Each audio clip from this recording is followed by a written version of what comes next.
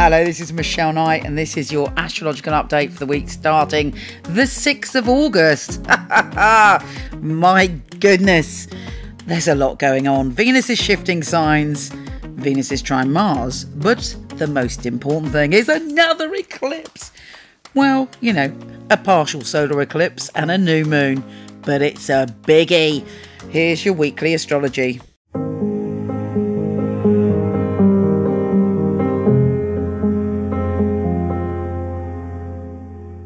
Virgo, this week is all about secrets, so you have to be very cautious. Be careful who you tell your business to this week, and it may be that somebody's accidentally or on purpose been gossiping about your stuff.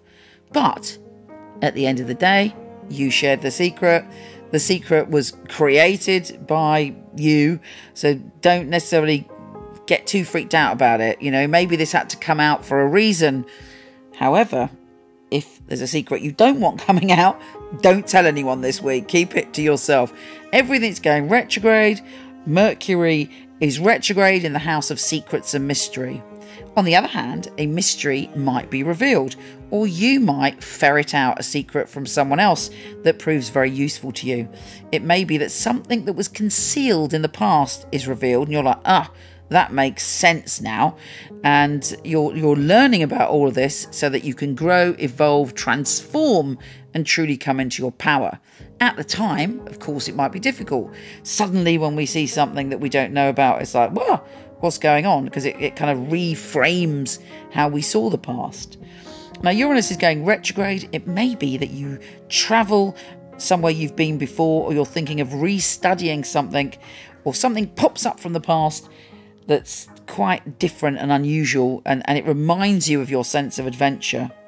Venus is shifting signs and making you want to feast on life. You're feeling very sexy, you're feeling very uh, intense, you also uh, want abundance around you, and you want to sort of be secure. All of this will come, and with um, the Sun conjunct Mercury, you have a sort of magical gift to sniff out opportunities. Also, Venus is trine Mars on the 8th, and that is enabling you to work out how to make money and where to put your energy work wise. But again, we're all going backwards to go forwards. So think to the past uh, when it comes to making money and when it comes to when you you were your most balanced and energy wise.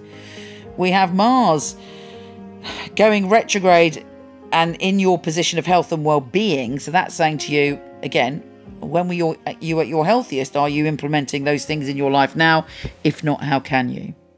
Of course the new moon as i said is in your position of secrets and psychic stuff. And it's conjunct mercury retrograde. Hence something from the past is coming up to help you and to catapult you into your future but right now it might not be clear exactly what that means or where you're going with that. It's squared Jupiter as well, and Jupiter makes us all sort of overconfident if it's squared and quite bolshy. And for you, you might be very forceful about your ideas or a little bit argumentative with what comes up, when really the universe is saying to you, sit with it, don't react, process it, and see what happens. And then when you've done that, you'll feel much better. I mean, it's always a tough time for you when Mercury goes retrograde because it's your ruler. But because so many things are going retrograde, I truly believe that we're all going on a journey um, to to find out and to give us another opportunity to make different decisions and to change our patterns, which will give us a brighter, better, bolder future. Take care, gorgeous, and I'll speak to you soon.